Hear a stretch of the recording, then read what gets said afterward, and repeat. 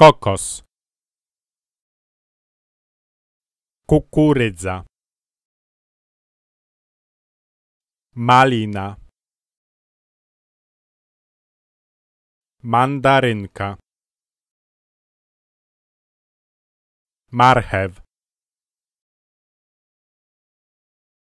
Ogórek. Papryka pieczarka pomarańcza pomidor